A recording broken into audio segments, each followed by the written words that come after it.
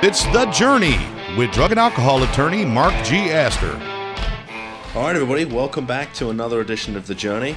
Uh, live from my office in Boca Raton. I'm super excited to have my now good friend Jennifer Gimenez with us. Ah, you said it right. Thank I you. did, right? How about that? Thank you so much for having me. I'm so excited and Well- nervous. You're, yeah, so You can say it. model, actress, reality star, and you're the nervous one. I Yeah. find that amazing. And you came all the way from LA just to be live on our show. I know, I know, I, I did. I um I'm I guess we should say the story. Like I came in here and I um was so nervous that I needed to go blow my nose. I either like get cotton mouthy or both, and uh, my nose starts kind of getting all. No. Oh, microphone. Oh, there we go. You see? You see, I'm not even technically savvy with this stuff. There we go. That's Better? All right. Okay, we're rolling. So you're, I, I can't believe you're nervous. You've been, I mean, you've been on TV, you've spoken to live audiences, and Yeah, I I mean I I I, I feel like it's a good sign that I'm nervous. Um, you know, because I I'm gonna I'm gonna tell my truth, and uh, I I still feel uh, vulnerable, and I still suffer from people pleasing. My mom does this, by the way. I don't know why. I just need to tell this. It's like a brain fart, and uh, my mom does this when she talks and with her little accent, and like when I get nervous, I do that too. But my nose drips, or like I feel like I'm gonna start my period, or poop my pants. Um, well, but I'm don't do, gonna do any of don't, that don't right do, now. don't, don't do, don't do any of that stuff. I mean, you can do, but I, No, I, no, no, no, Listen, all, I, all I know is if you do that, we'll probably both end up in front of the pump page of the National Enquirer, which I don't know if it'll be good for my business, Yeah, but I don't think it'll be No, that great. Yeah, no? like I mean, it, I mean, any you know publicity, I guess, is good publicity, but we don't want it that way. well, you're all. I mean, I, you know, when it's funny when so we met through our mutual friends Doug and Heidi. Who I love. They're amazing people, I have right? a major girl crush on Heidi. I can understand Yeah. why. She's terrific, and, and Doug a strong is. woman. Doug is amazing. And you know, so when they told me all about you, I sort of said, "Well, I'm going to do a little research on Jennifer." And I sort of, and there was like, "Wow." First of all, I was like, "Wow," um, and I'm still wow. oh, but, thank you. Um, but you're like all over the internet. I'm like, "Wow, that's you've had a very interesting life." I I've been blessed. I've been blessed. Um, uh, from a girl who was born in LA and grew up in Argentina on dirt roads and donkeys to uh, to living this life is The been- LA lifestyle. It's been incredible. So I want to go way back because you said your mom has an accent. So is, she, is your mom from Argentina? Yes, my whole family's from Argentina. Um, I'm first generation born in America. Parents decided to come to America and name me one of the most common names, Jennifer, and raise me back in Argentina. And uh, later on through the years, we'd come back and forth um, back to California. My parents realized my little brother and I would probably have more opportunities here in America than in Argentina, so they sacrificed everything. And uh, we came back to California. And uh, that's my story. So, that's a and scene. So I want to know. So so were you were you so you were born and raised in Los Angeles? I was born, raised in Argentina and LA, but I I grew up speaking Spanish in Argentina. So I came back to LA and I learned English, and uh, I in school, and I would try to break my my thick accent. Um, my eyes are watering. Uh, that's another sign of nerves. Um, and uh, black is dripping. I wouldn't have noticed. I can tell. Sorry. It's all right. It's good. just calling it all out. Um, but uh, yeah, I learned English in school, and and you know the whole like. It, it, I grew up so different than you know what people think. How so? Well, you know, in Argentina, I kind of call it. I mean, it was so. I mean, dirt roads, donkeys. Like my grandmother always cooked my friends the chickens in the backyard, and um, you know, you'd have to go. It, it's just, it's different. You know, the the. I feel like in Europe and and in South America, you you live, you work to live, and here we live to work. You know, and um, it, a family's very intermeshed, intertwined. You know, here there's a lot of boundaries. You know, and, and a lot of.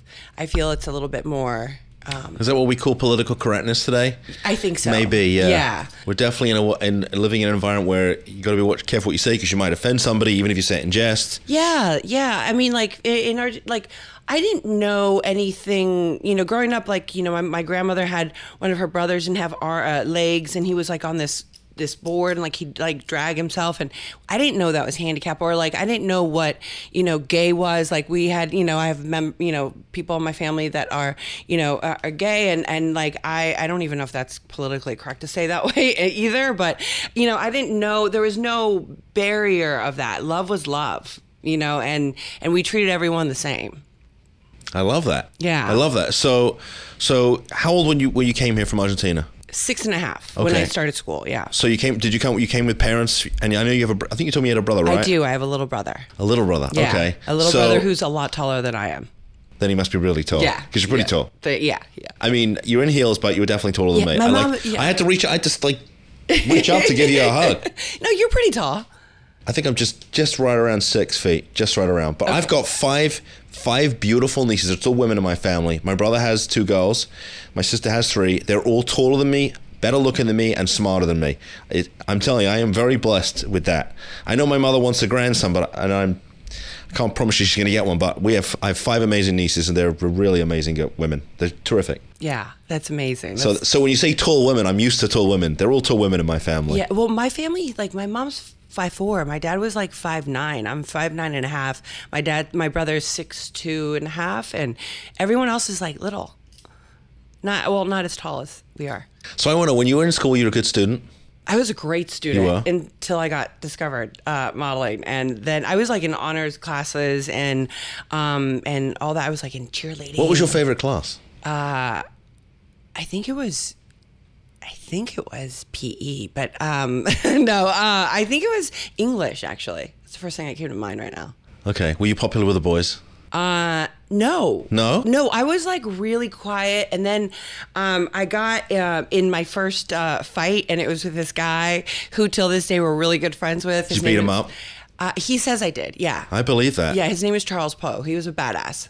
Yeah. And you beat him up anyway. Yeah, we always talked about it. Like he ended up playing uh, pro baseball uh, in in the in baseball, so uh, he became a pro. And I, am I saying it right?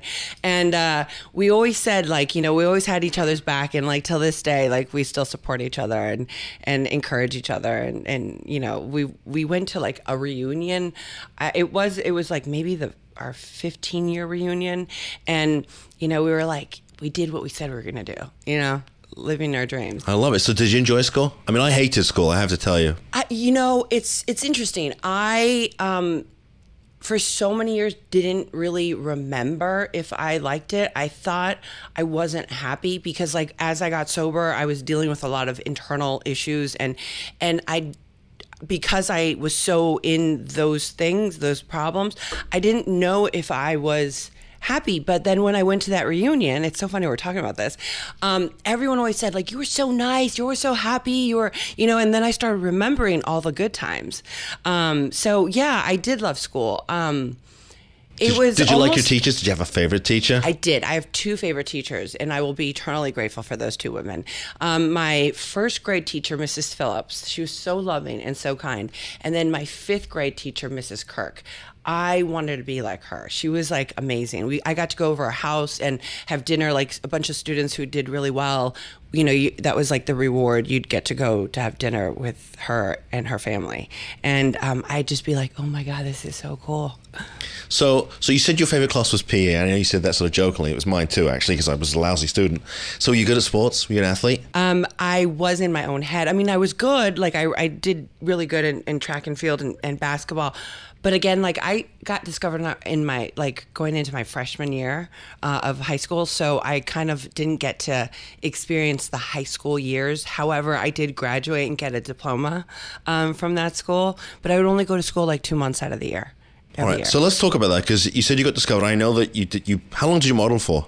Um, well, I, I got discovered when I was uh, turning, I was close to turning 14 years old. Um, I was at the Santa Monica Pier with my mom, my little I- brother. I- well, you know, I used to go there all the time because I told you, you know, I lived in LA for for three years, and it's really quite beautiful. It is beautiful. It is. Oh, my poor LA right now. My heart It's is, uh, yeah. it's burning. Yeah.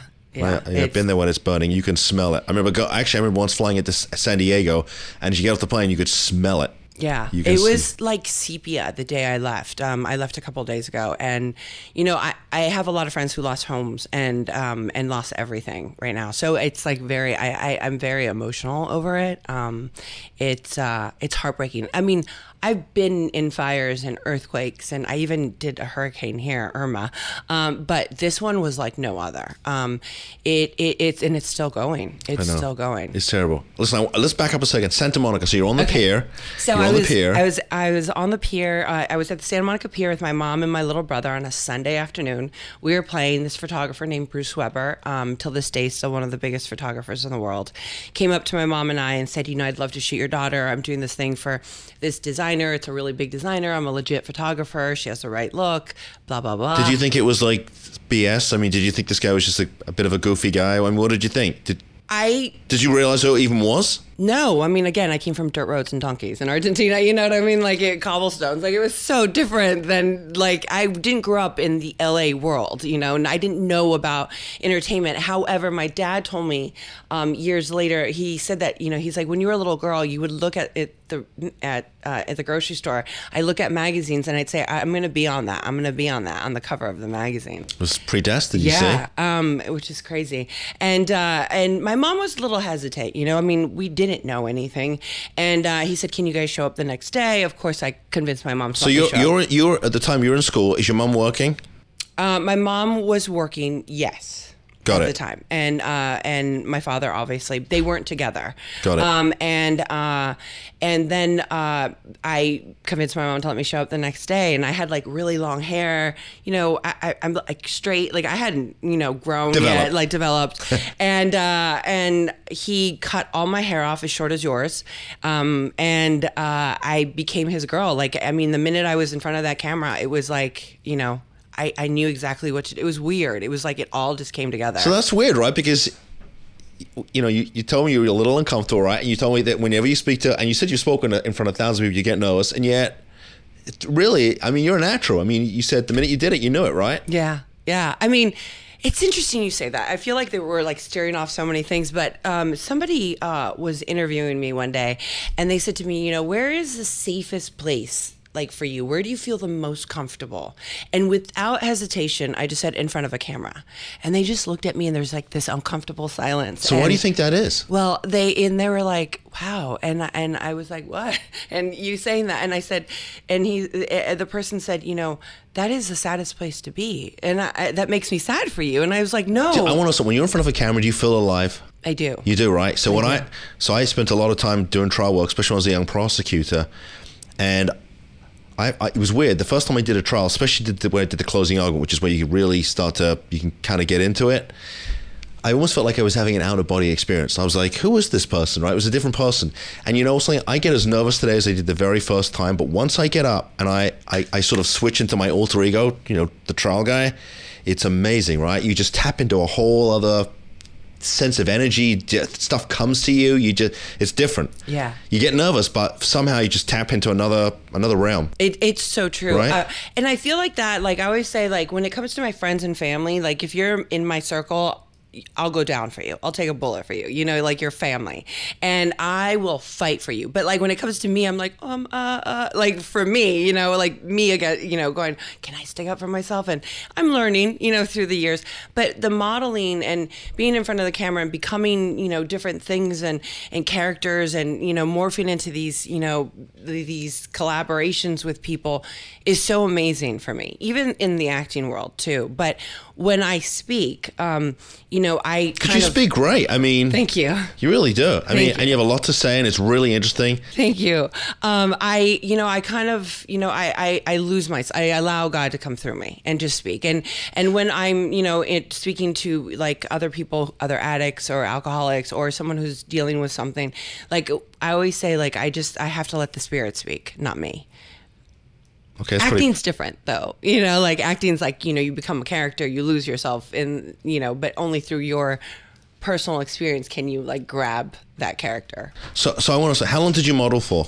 Well, okay, so I, um, I, I'm, I'm the youngest girl on the cover of American Elle. Um, I, you know, became Bruce Weber's girl.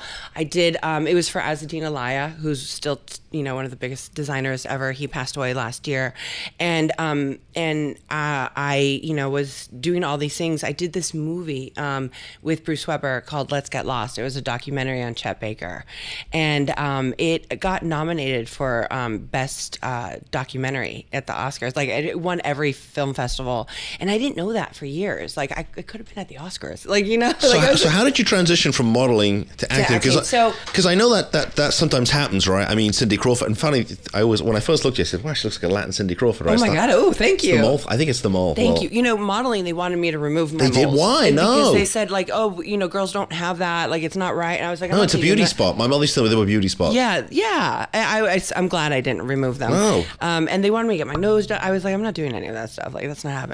Um, and, um, you know, what happened was with Bruce, um, I did uh, like two weeks of Azzedine Alaïa's collection bo- book.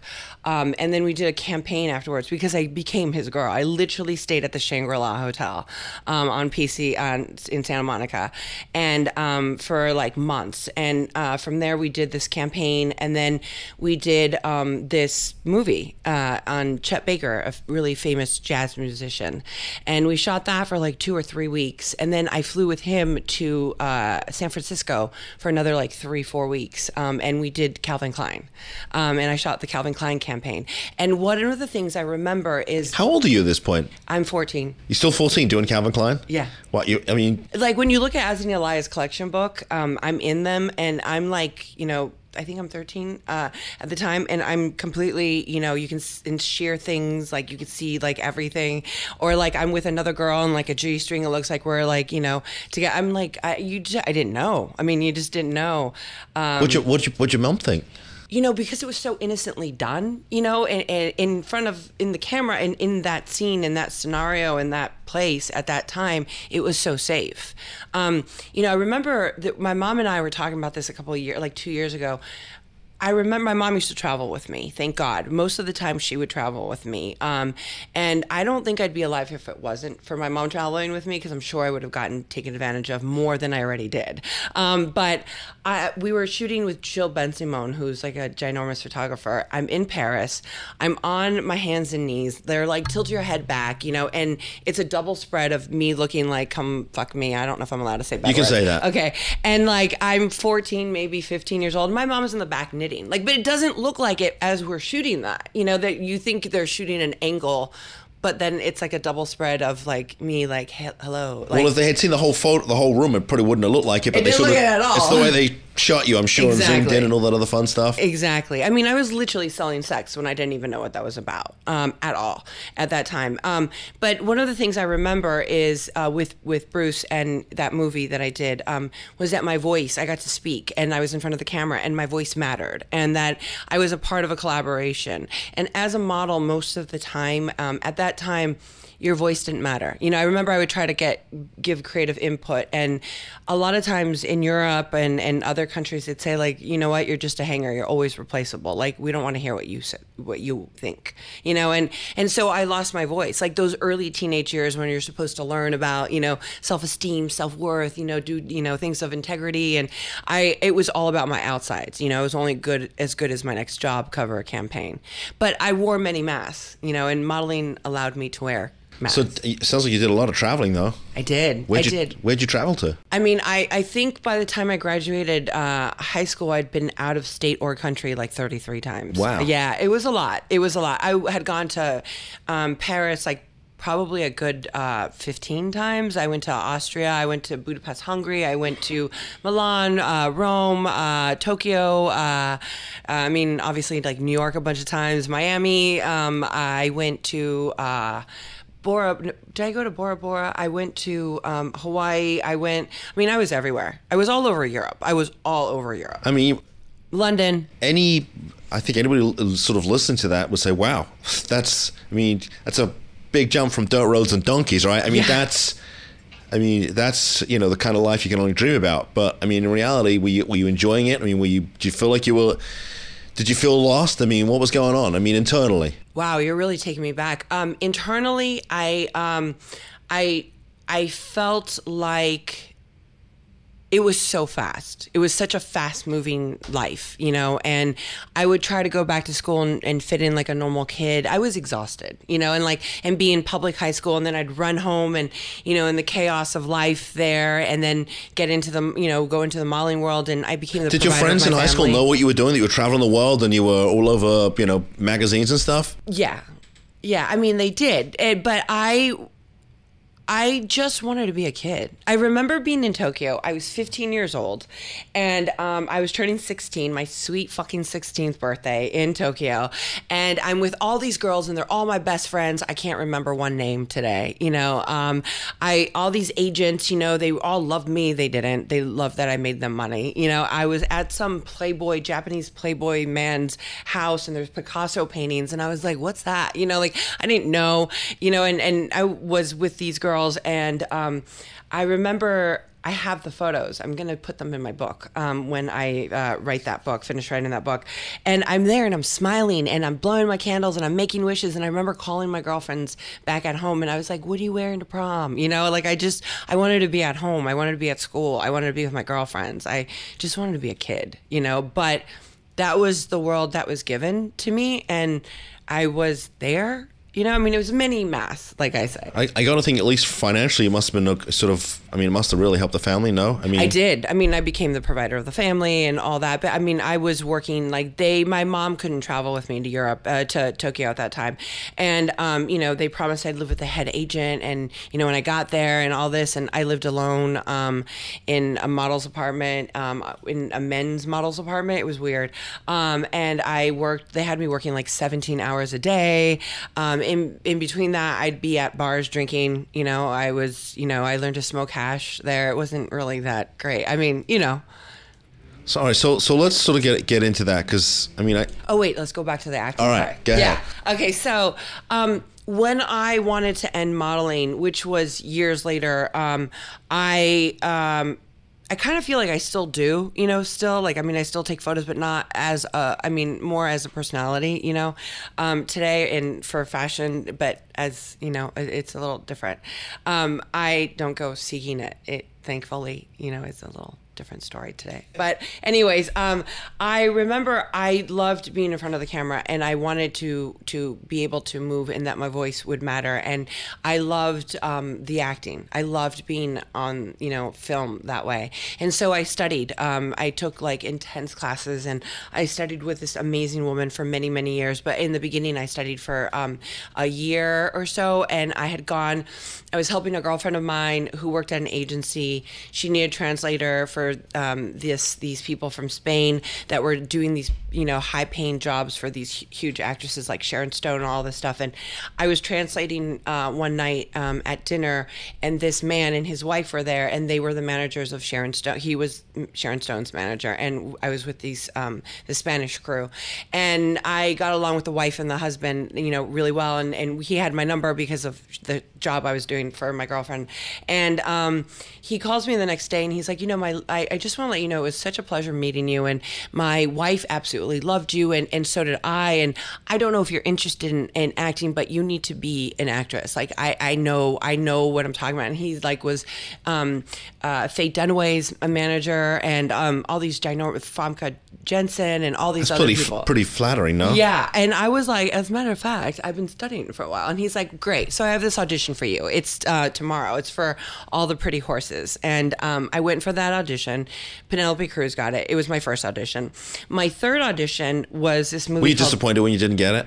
No, I. I Did you think like- you would get it? I mean, no, I mean, like he's like, you know what? I just want to take you out there. I want people to meet you. And it was funny. He's like, don't tell anyone that you're a model. And I'm like, that you were a model. I'm like, well, it's kind of hard not to. you're right. I mean, you, love these magazines and stuff. exactly. And uh, and my third audition was this movie called Flawless, and I went and I read.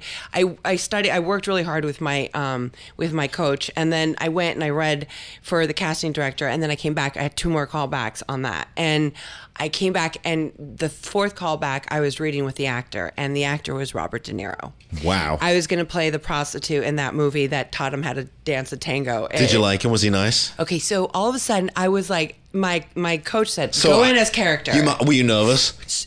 I Was your nose running? I my nose was probably running. Um, I walked in there as character, so like she was a New York, if she was from New York and stuff, and she was just kind of really tough and hard, kind of hard on the edges, kind of like I am, but just a little bit more rough. And I walked in like that, you know. So I kind of knew I needed to lose myself, but be present too. And he was like, you know, very quiet and shy, and he's like, "How do you want to do this?" And I was like, "However you would like," you know. And he's like, "Well," and I go, "Why don't we just read this once through together, and then we can, you know, do it." And as we're reading it, like a quarter into it, he morphs into his character. And the guy, you know, Robert's character had like a, a stroke, and so like he was like went into that.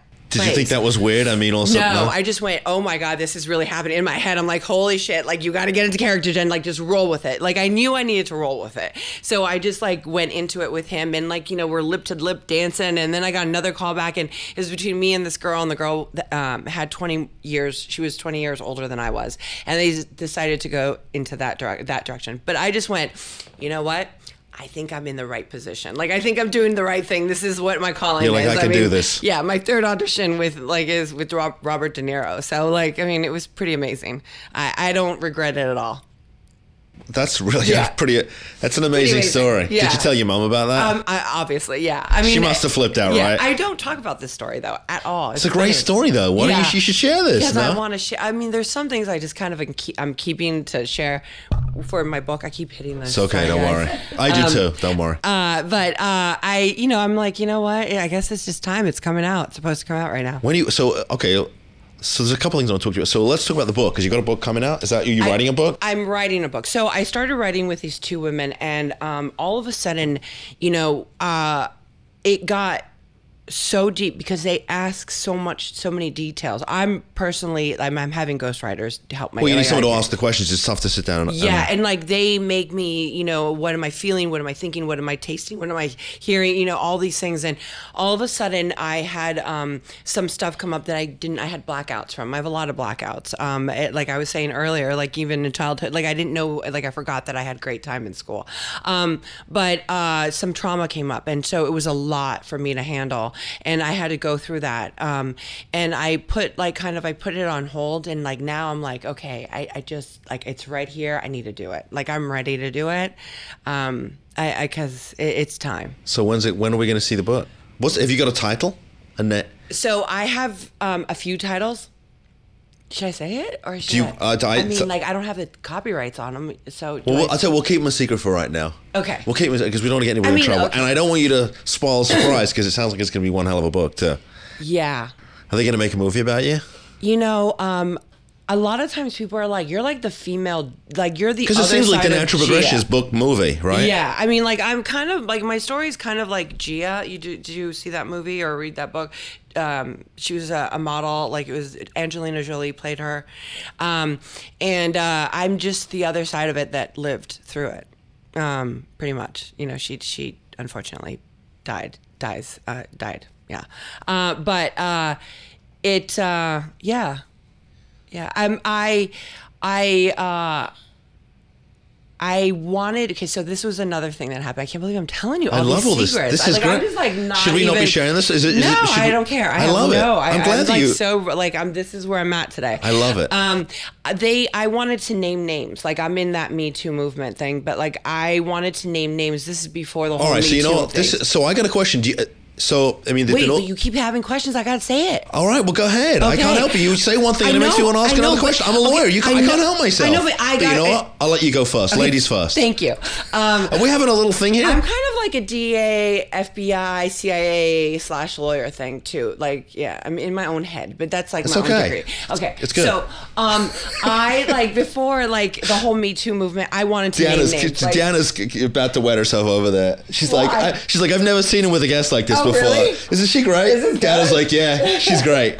Go ahead. You were saying. I, I wanted to name names about certain things that happened, you know, because I have a lot of names. And um, people, my at the time, my book agent then was saying, you know what, if you name names, you can just kiss your career goodbye. And now it's like, and then like, a couple months later, like as all that was happening, I was dealing with that stuff that I was just telling you that came up. And then the whole Me Too movement came out. And I was like, yeah, no, I don't want to be like, I, and now it's like, if you don't name names, like I was right. Like I knew I should have trusted my gut, like, you know, to, anyways so um you know there there are things that i definitely want to address so then other people can relate you know because i still think that like we today in society still don't want to talk about it even though we want to talk about it and we talk about it through social media and i think it's important to be able to have you know a communicative relationship with other people and be able to communicate and tell our story.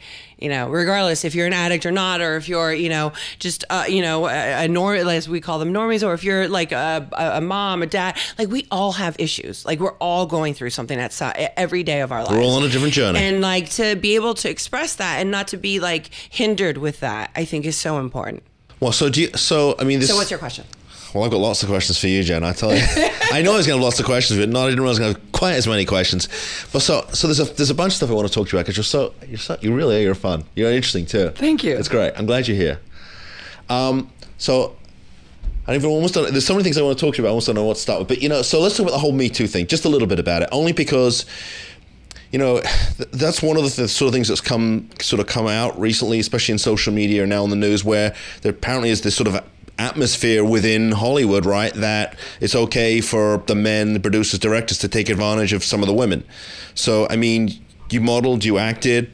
I mean, is that is that what's going on, or is there Absolutely, hundred percent. Okay. going on. It has gone on. Um, it's gone on. I think even before the Hollywood world. You know, I mean, I I think it's gone on for you know many many many generations, hundreds and hundreds and hundreds of years. You know, and people never talked about it. You know, and and we're in a place today where you should talk about it. You know, and and there's been a lot of that that happened, and unfortunately, there's no union in the modeling world. The modeling world. It started with me with the modeling world. You know, and and all these you know people taking advantage you know not only um, physically sexually emotionally verbally but like financially too. Like agents would just rob you you know and you just kind of again your voice didn't matter. Today thank god for like social media and like the Gigi Hadids of the world that like you know talk about things and they don't get taken advantage on those levels you know? They're more aware. Um, but uh, yeah that it's definitely it's something that's happening in Hollywood. And you know unfortunately it's still going to happen if we don't talk about it you know and if we don't use our voice you know? Whether you be a woman or a man you know it's happening to both sides Okay, so so in the book, are you going to sort of name names? Are you going to Yes. do, okay? All right. So I'm not. So I'm not going to ask you name names I here. won't. Okay, that's good because well, first of all, I know you don't want to name names right now, but also would spoil the book, and I want to be able to read the book because I know it's going to be dynamite. Thank you. All right. Uh, I, I mean, I would if I if I felt like I still am like that was the whole thing is that I was dealing with them. I, and I remember going to therapy when the whole Me Too movement came on, and like I was getting you know I was getting people from uh, different uh, uh, you know outlets like from you know the New York Post like just different people getting a hold of me. And I'm like how did they get a hold of me? Like how do they know? So somehow some way it got leaked.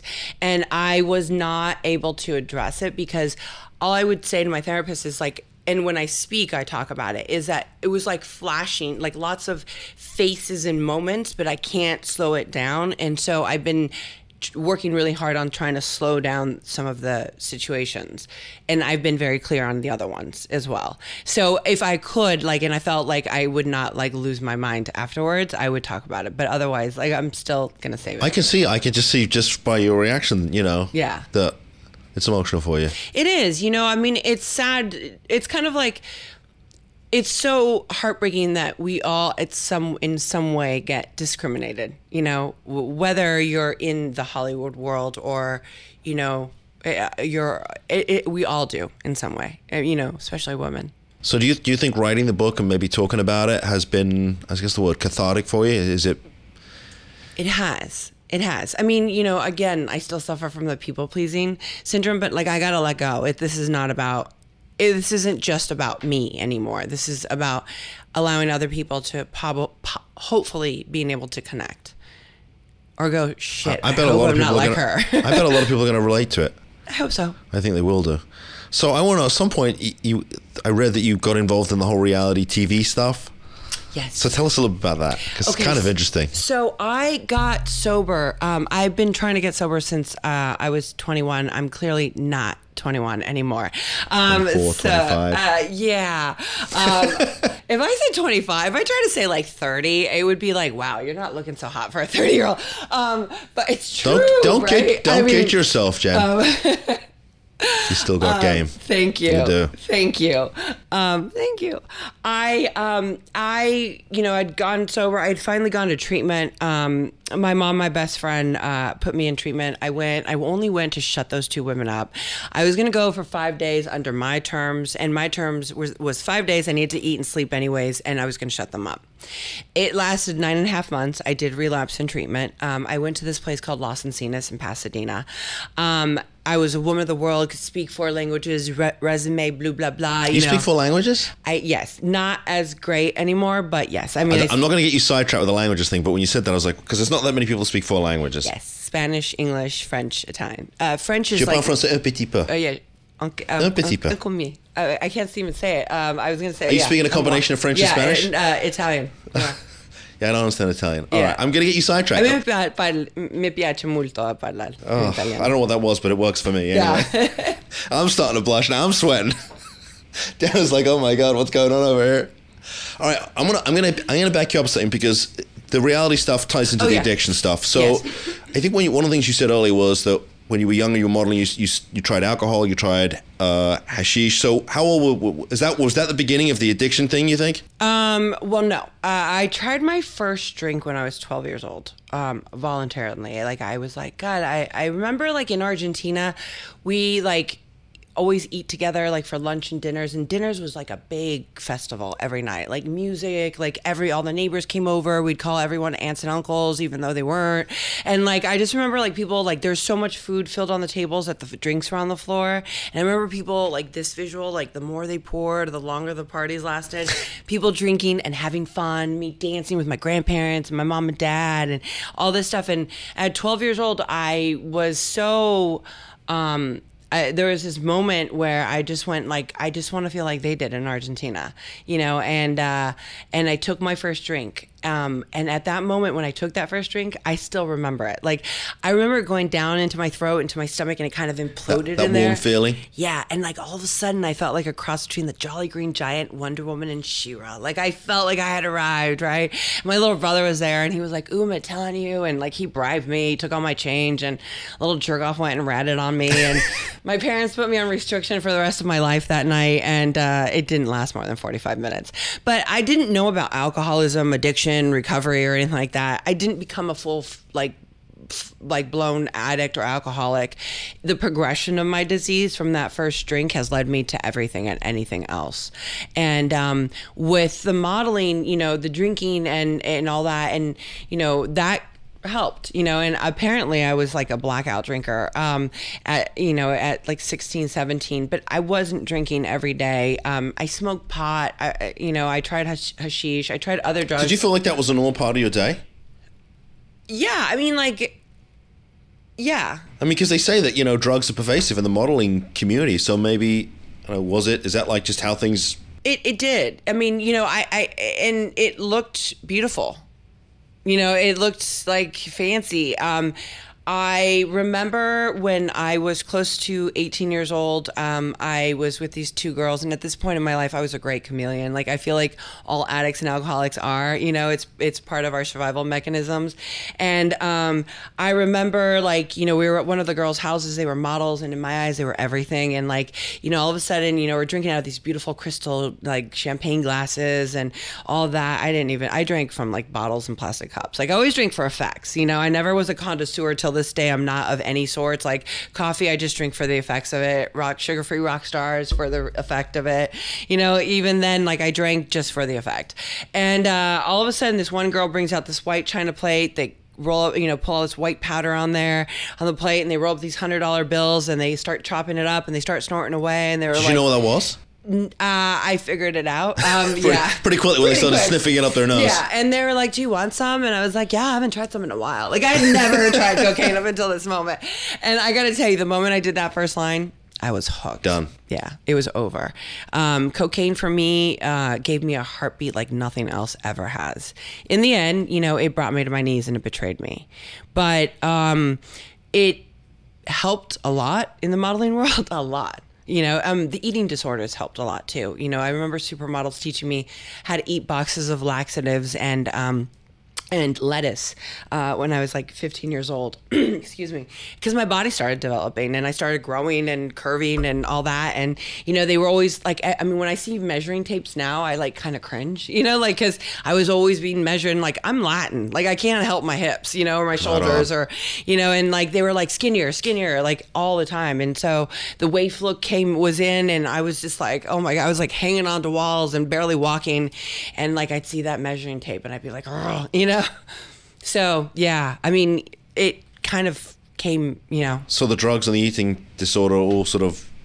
Oh yeah, I mean, I've had every eating disorder. I mean, from anorexia and everything in between to obesity. I mean, I, I have, I in my sobriety uh, this last time, I ended up gaining um, over hundred pounds. I lost 140 slowly but surely, and the progression of that, thank you, You shows on TV. Like, I mean, unfortunately, it's been documented.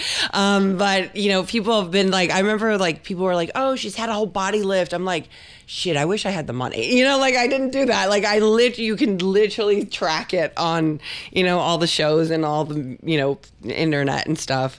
And I've been very open about that, you know, and like today, you know, if I don't eat, um, I like start gagging. You know, like my God has a funny sense of humor. Like I either my nose drips if I'm nervous or like, you know, I start Do gagging. you get if I angry? I get hangry. I get so hangry, and I threw. I like to say like I have moments, but I'm throwing a fucking shit fit. Like you know, like I'm like ah, you know, the world's coming to an end. Like nothing makes sense. Like it gets really loud. I mean, even when I do eat, it gets like that. So um, I do get hangry. So I want to how long how long were you dealing with the issues of addiction? Oh, uh, God, um, pretty much my whole life. I mean, you know, I, I think that you don't. I really firmly believe that you know it's a gene. It's actually a proven fact. It's so hereditary. this is a brain disease. It is. It is a brain disease. And I feel that a lot of times with people, like, you know, there could be, and Dr. Drew talks a lot about this. There could be, like, in, like, I, I'm just hypothetically speaking here, like, you're an addict and I'm an addict. You have coping skills. I didn't. You know, I'm doomed to, like, have the addiction and be a full, full blown addict. You know, you have the ability of being able to, like, catch yourself and go, okay, this is not the road I want to go down, you know, um, or you have a problem drinking. Like, there are problem drinkers out there. They deal with the problem and then they're better. Um, that is not my case. You know, I didn't have any coping tools, you know, at all. Um, I've learned them, thank God, today. So with, with reality TV, was that? Oh. Let's yeah, because I know that Yeah. sort of ties into the whole recovery thing. So I went to uh, treatment um, in Los Encinas in Pasadena, and one of my doctors was this name, this doctor named Dr. Drew, uh, and uh, he could not stand me. I could not stand him. was that before he was Dr. Drew on he TV? was already Dr. Drew, but not on Celebrity Rehab. He was on like Loveline and like. so you uh, did a celebrity rehab. I I did, but not as a patient. I'll get to that point. You asked too many questions before. I can't even tell the story, and now it's not like a big like good thing. Like like it's not like oh the climax. Were we married Like, in a past life? I feel like we might have been. I We're don't fin- know, but you need to give me climax here. Like you let me gotta let me tell the story. That's Deanna's kind of like- weird. Like that's kind of weird. It's all right. I'm, listen, Are you dying? she's dying. She's choking on a bagel over there. I already ate it. Is this bad? It's great. Oh, you're awesome. Come on, let's go. Keep it. Let's So, go. um, My hands are up. Um, okay, let's go. Bring let's, it. let's do. Oh, you bring it. I'm ready. I I'm gonna know. take my earrings off. We're going. vey. We're going down. Oh, Here we go. it. Okay. Okay. So, um, so uh, he uh, predicted me dead, Dr. Drew. He said like I was one of those hopeless cases that you just need to go through the motions with, you know, because I was not going to get it. And some of us, unfortunately, need to die for the rest of us to get it. Is you know the term that they use and and all that. And um, you know, uh, I, my treatment lasted a long time. Like my detox alone was like three and a half weeks. Um, the first time I went in, they shut down my short term memory. They didn't know what to diagnose me. I remember all the doctors like sitting over me and they're like, "What do you think it is? What should we diagnose this?" And I just looked at them and I was like, "A fucking addict, perhaps? Hello, like, you know, I'm a drug addict. Hello, like nothing makes sense right now." And um, and uh, I, you know, was in there with it was it was a shit show. Um, what had happened um, in treatment for me. I mean, that alone is a whole book. Um, I my detox lasted three and a half weeks. I um, I lost my short term memory. I found out later um, when I we it was all in one unit. Like now in treatment, like it's all these different places you go to for the whole facility. You know, we had it all, and it was like an acre and or two acres of land. And um, from the detox, I went to the cottages, and like W.C. Fields died there, and um, Marilyn Monroe and, and Clark Gable used to go there in this place that I went to, and so like they have like you know areas named after them and stuff. And I remember taking a shower, and all these numbers again flashing through like things flashing, and I realized I hadn't started my period, and I found out I was pregnant in treatment. So they had me go through a forced miscarriage, and um, they had my main doctor had me so loaded on. Med- I mean, I was so high in treatment off of the medications he had me on, and um, and now those like five days were a little longer, and it's like you know the end of October, and I finally I'm like not feeling good, and I'm so like I would just like drool. Like, I mean, I was just I was terrible. I was terrible patient. I mean, and I I remember them saying a lot of times like, "Are you going to stop acting? Like, stop acting your way through this?" You know, and and um, I went to my doctor in LA, and I found out I was still pregnant with that baby that was now dead. So I had to go through a forced miscarriage. I mean, a forced uh, a D&C, an emergency D&C, and um, it was all too real, too raw, and I That's a lot up of tr- that's a lot to deal with. it was a lot and lot. i wasn't able to really deal with a lot of issues even though i was in treatment for so long at that point you know from july 12th to now the end of october and or first of like first week of november. I ended up relapsing in treatment. I'm one of those people that breaks the dynamic for the group um, awakens the beast for everyone. It was just too much for me you know and um, i remember uh, the main nurse you know and i kept like saying there's a conspiracy against me. Dr drew does not want me here. They're like what are you talking about? Like you know i was like thought i had game left in me. And um, the main nurse came to me and she said you know now they're going to come in here and they're going to blood test you and they're doing a staff meeting. This is going to what's going to take take place. And we're going to blood test you and you're going to test positive because you know that i know you're high right now and we're going to put you in the psych ward. We're going to detox you and bring you back here and uh, get you back on the road to recovery. And all i heard was psych ward. Like i'm not going there. You know and i bounced. I ama'd it was 10 weeks one long night. Um, i was buying over an eight Where'd you bounce to? Where'd you go? back to la Okay. um, and uh, I was using, and uh, I was buying over an eight ball um, a day, and uh, it was wasn't working. That's a lot. Yeah, and like I was thinking of Dr. Drew's little fucking smirk he does. I was thinking of like Bob Forrest's red hair. He was on Celebrity Rehab. He was one of the counselors. He was my counselor in real life. And like I was thinking about like what hat he had on. I was thinking about like the groups and like for a girl who wanted to sedate and numb herself, you know, it was like such a bad place to be because I was thinking, you know, like I could, you know, I was thinking about you guys, like people and and, and in the outside world. And um, I ended up going in uh, January fifteenth, and. Um, I uh it's a little deeper story of that but like my mom came to me and said you know I'm to pack your bags. You're to come stay with me. You know I don't care if you drink or use there. I just want to be with you. You know I bared you into this world. I want to watch you take your last breath. I don't want you to die alone. Like and at that point I was okay with it So what's your sobriety date? January 15th Wh- Of what year? 06 So how you, long you- you broke my climax again Ah, God. yeah This is why I'm single. Yeah.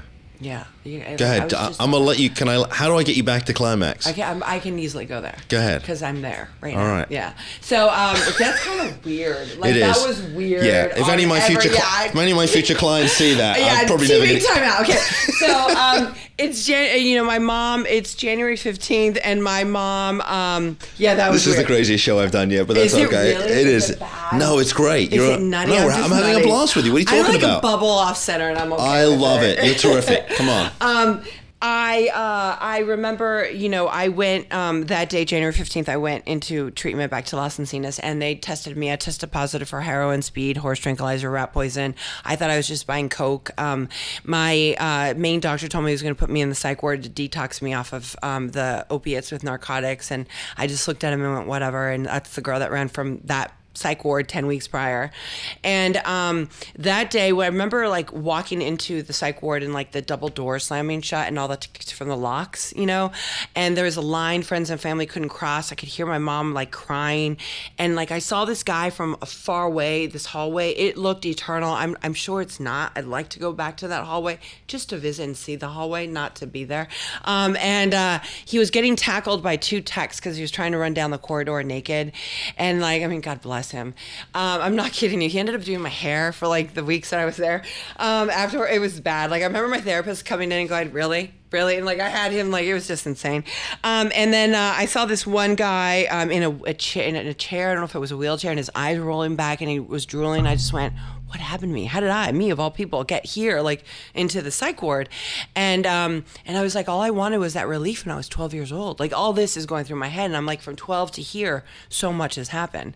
And um, I went to my room. My room was the last room on the left, and the tech left to go get the med sheet. And I said I needed to go to the restroom, and they take away shoelaces, plastic. I'm sure you're aware, and any sharp object, anything you can hurt yourself or anyone else away from you. And uh, I went into the restroom, and the doors didn't connect to the ba- uh, to the bathroom into the bedroom, our rooms. And uh, when I got up, I realized the idiots forgot the belt.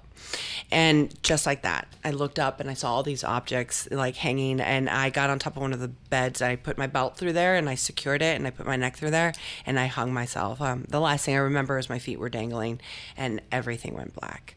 Um, when I came to, I was in a five point strap. And because of the fixation, um, I couldn't speak correctly. It took me three months to learn to form sentences. miracle I can speak. Uh, my hands and my legs shook. I had no control of them. I'd get up and say, you know, right foot move and I'd fall. I was in a wheelchair. From the wheelchair, I went to a walker to a, a cane. I learned to freely walk like four or five months later. Um, I had no control of my bodily functions. I was in depends. I like to call them diapers. Um, I uh, threw up profusely on myself because of the detoxing. Um, and I was just, it was the worst place ever. Like, and the craziest thing was my brain worked perfectly. And I, I couldn't connect you know to the world. And i remember one day um, i was by the window and i was holding on to the like double like they had bars and like it was a double it was a frosty window. And i could hear people because it was an open meeting and stuff. And like people there's different areas of the facility. And i opened it like a quarter of an inch and i could smell the smoke of people smoking cigarettes. And i heard all this chatter and i felt all these feelings that i really didn't understand. I could hear someone yelling at someone from far away and um, I literally said in my head, God, is it humanly possible for a girl like me to ever feel what they're feeling? And if so, I'll go to any lengths to feel that. And for me, that's my day of surrender. However, my clean date is January 15th. And I kid you not, as I tell the story, every time I tell that part of the story, like that girl that said that that day resides so alive inside of me. And like it has been a journey. So I ended up staying from January 15th till April 30th you know, in total it was like almost eight months, like from July to like April 30th or something like that, seven and a half months. And I was like, you guys, I need to go get my life back in LA. And I went back to LA and I did the aftercare plan that they make you do in treatment. And I didn't follow that through. And all I did was contemplate suicide and using every single day. I did not know how to do this thing called life. Um, at nine months sober, I ended up moving back. Um, in, I moved into a sober living. I had made millions in my life, you know, and um, I lost every single penny. I only had enough for a month month and a half.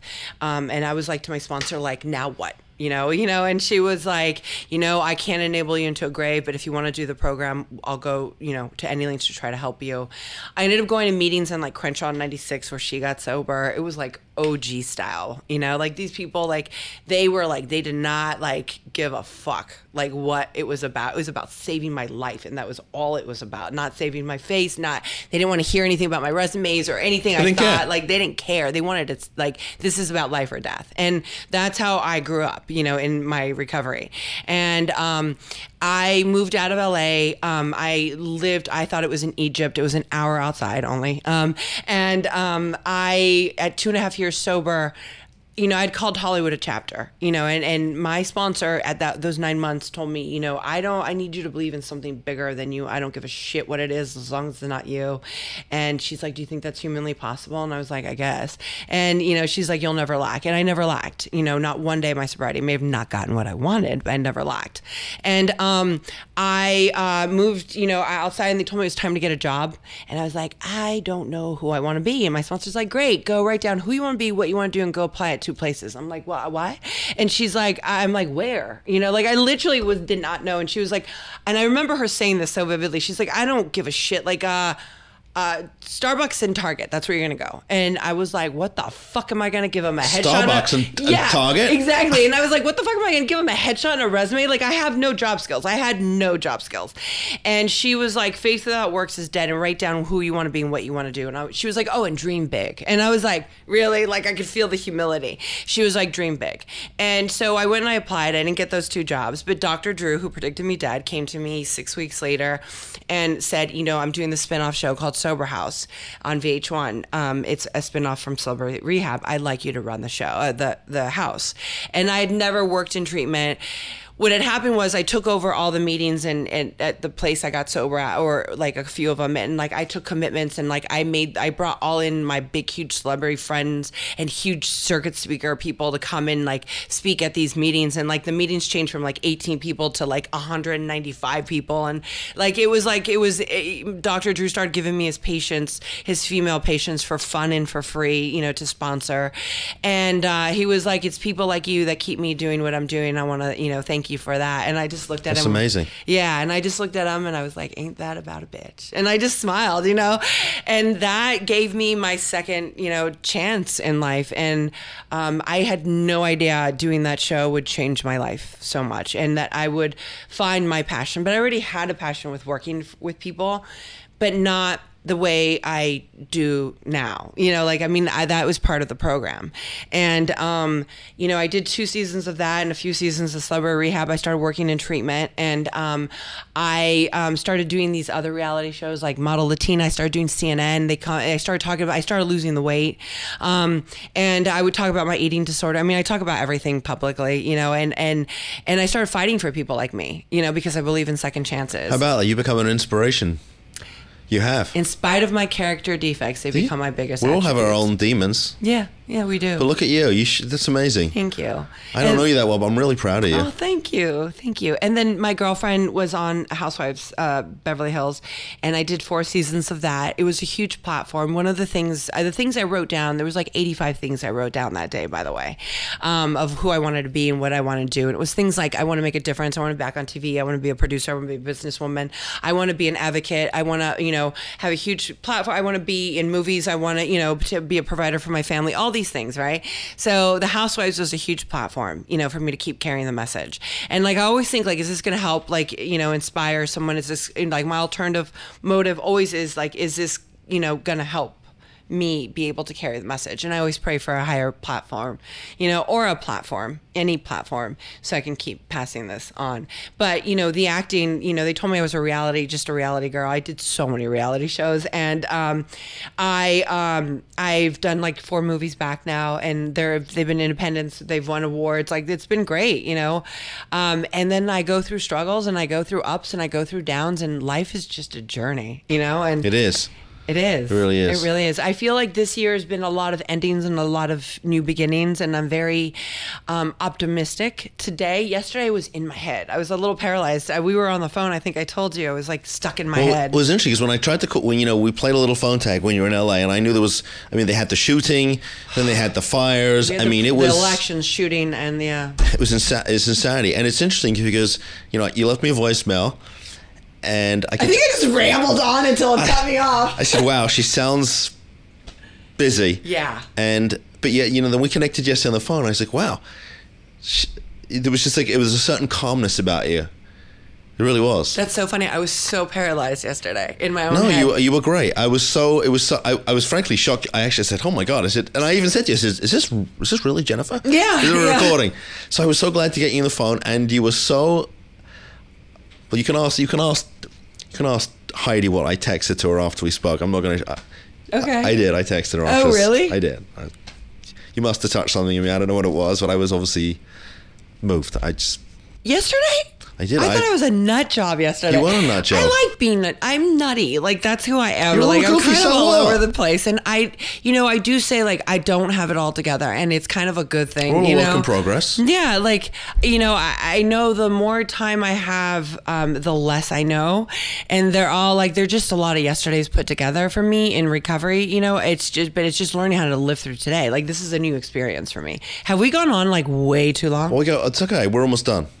But I don't. Because you keep looking down now. Well, it's I like do. make- I ke- I it's kind keep- of like that thing. Like you better go now. Like, no, you know what? I keep track. I keep track of time because I don't want to go too long. Because Then they're gonna not be interested. well, no, well, no. But then I know you have other stuff to do, and I know you know I don't want to. We should do a five-hour podcast right now. You want to do a No, fi- just kidding. Deanna and Jay's like, "Dude, we're not doing a five po- five hour podcast. He's like changing tape. Did I just go so off center? all the No, questions you were didn't. No, you were great. Okay. You, you honestly, and I've had some. We've had some good guests, but you are the most fun. Really? You are the. I was so excited to have you on the show. Really. Really? Yeah. Well, I read about you. I sort of knew that you'd be that you had a you'd had a, fascinating history, and There's so I didn't touch on anything. well, we might have to get. We're going to bring you back then because we might have to. Yeah. Because I bet we could. You and I could sit here and talk for five, four or five hours. Yeah, But then I I would mean- have to order food in. I'd have to cancel the rest of my day. I mean, we're gonna have to continue this. Okay. But I want to know what you. Before we wrap up, I want to know what you're doing now. Right now, um, I've been speaking all over the country. Um, I um, I'm in the midst of doing these shows. I can't talk about yet, but I can't wait to come back on and tell you You're about coming. it. I'm having you on. Um, I cannot wait. Um, I um, in doing I'm doing a women's retreat with um, Heidi and uh, Amanda. Uh, I just said Amanda. I bit my tongue. Amanda. I'm so excited about it. I've never done that before. Where it's not going to be necessarily. I, I When's that happening? uh, I think it's happening in January or maybe early February, but I'm hoping it's January.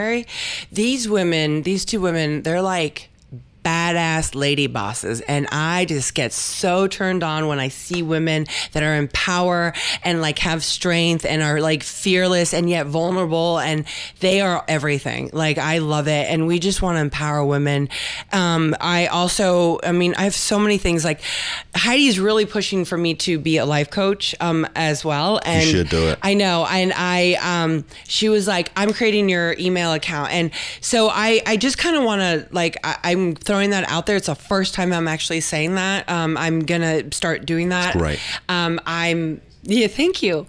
Um, I, I love working with men and women. I love, like, I can see things. Like, Drew always said that, like, you see things. Like, I have the gift of intuition. I'm really good for you. I'm not good for me. Like, I can see the, the intuition and, like, I can see things for you. Um, I, you know, this has been a, a journey, you know, like, and, and I am so blessed. Um, you know, I'm, I, I'm, I put acting on hold for a little while. Like, I was in this, uh, weird space, um, for, like, I kind of lost my voice, even though I was speaking everywhere. I lost myself, you know, in a relationship, in my career. Like, I felt like I was staying stagnant, um, in a lot of areas, and I just let go. And I just remember this year, I just went, God, I'm jumping. You, the net better catch me, and it never fails. It always catches me. Um, I, I feel like I can do many things, you know. I, I'm, I, I, I believe it. very determined. Um, I believe that you could do anything you wanted to. I really, ultimately- I, I see that because you have you're. I mean, the force is strong with you. You know what I mean? You have. I mean, really. I mean, Doctor Drew's like, you're going to be dead. You're like, fuck you. Yeah, no, I. I don't think I'm going to be. In fact, I'm going to go on a reality show, and then I'm going to save a shitload of people. So fuck you. and it's gonna be yours. Yes. How about that? I know. I you know I'm eternally grateful for Dr. Drew. I mean, like he he he loves us addicts and alcoholics. He's not one of us, but he loves crazy around him. I mean, like he had me and Bob Forrest and Shelly and like you know those people are like Bob was my counselor. I did. I ended up by the way doing aftercare for five years. It changed my life, and it was with Bob Forrest, and I learned so much. Like just like it's about having empathy and human connection. You know, really. I think this whole thing called life is really about that. I love it. We, we got to talk more. All right, we're going to wrap up, and then and then when we're done, you're not going to talk about how I'm going to get you back on here. Even if I have to put you on Zoom, I'm having you back on the I'll show. do it. I'm here. We're doing it. All right. So, thank you, Jay and, and Deanna, for being so patient with us. I'm so sorry it went so long. no, you kidding me? I love having you. We're not done. I'm not done with you. Oh, yay! Because uh, you know what, I'm going to have you back on because I want you to talk more about what you're doing and how we can help more people. Okay. Because your story's inspirational, but then we need to talk about what we're going to do to Let's do this. to help more people. Okay. All right. So look, the show uh, is going to air. Uh, going to be airing on Friday at five o'clock on Facebook Live. Uh, Facebook. So uh, you can go to the Mark G. Astor uh, Facebook show, uh, Facebook page. Oh, you see, you got me your tongue tied. I'm a little verklempt. you rattled me here a little. Uh, the drug and alcohol attorneys. Deanna, Deanna's like, oh my god, what's going on here? I saw a lot of that. Yeah. The Drug and Alcohol Attorneys Facebook show. We're on YouTube. You can go to drugandalcoholattorneys.com. Uh, our website, uh, you can email me at mark at drugandalcoholattorneys.com. Our phone number is 561 419 6095. This is going to be the best show yet. And uh, look at you. Balls to the wall. That's You know how we what? take it. You're going to make it, you're going to help a lot of people. I know that. Thank you. You really are. I hope so. You are. I, there's no hoping about it. It's, At the end of the day, when all is said and done, if I can help one, if I, if I, I think you're going to help a lot more than one, if but you- one hel- God helped or, or felt something, some kind of emotion, or felt a connection, then I'm good. I believe it. You are good. All right, guys. Thank you. Thanks for coming on the show, Jen. Thank you. Thank you for having me.